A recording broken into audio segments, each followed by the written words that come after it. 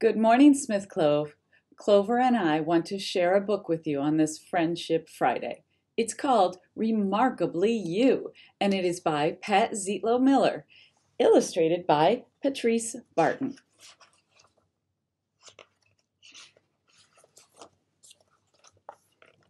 You might be bold, you might be loud, leading parades, drawing a crowd.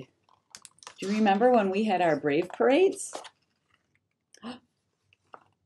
Might be timid, you might be shy, quietly watching your neighbors go by.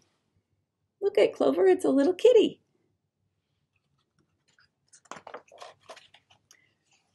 You might be small, one tiny sprout, learning new things when you're out and about. You might be big, practically grown, coming and going with friends of your own. No matter your volume, your age, or your size, you have the power to be a surprise. You have the know how, you're savvy and smart. You could change the world. Are you willing to start? Don't sit on the sidelines. Be part of the fray. Go after your passions a little each day. Find what needs fixing, repair what you can. Then choose a new problem and do it again. Perhaps you're uncertain, not sure what to do. Just look for the moments that let you be you. Maybe you're funny, or bookish, or fun, or maybe you're always decidedly last. Perhaps you like counting or drawing all day, or finding invisible dragons to slay. We have your own spirit, unparalleled flair. So rock what you've got every day, everywhere. Perhaps you wander or wonder or sing the world needs your voice and the gifts that you bring.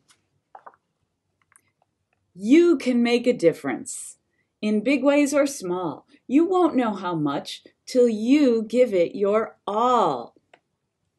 So find what you're good at, what you have to give.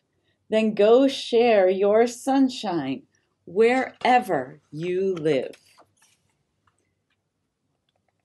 You might be a helper who's first on the scene, a speller, a builder, a rope jumping queen.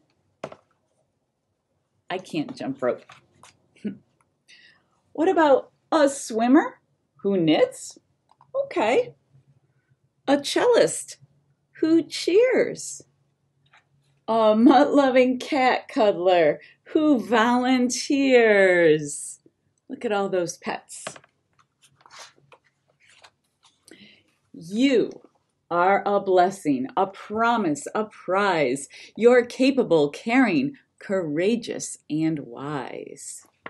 You might go unnoticed or shine like a star, but wherever you go and whoever you are, don't change how you act to be just like the rest.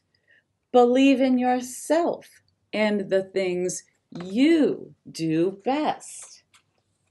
So, whether you're daring or careful or kind, embrace who you are and the way you're designed. Dream your own dreams, have your own heart. You could change the world. You just have to start. Follow your path. Do what you love to do. Be completely, uniquely, remarkably you. Thank you for listening to my story. Have a great Friday, everyone.